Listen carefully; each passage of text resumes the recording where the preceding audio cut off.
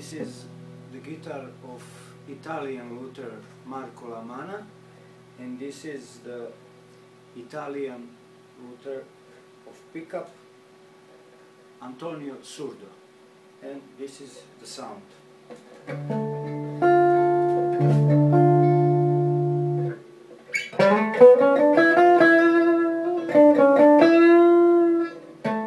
thank you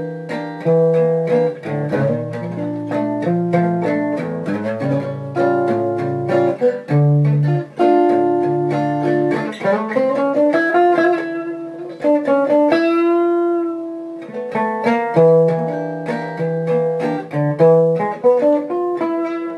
you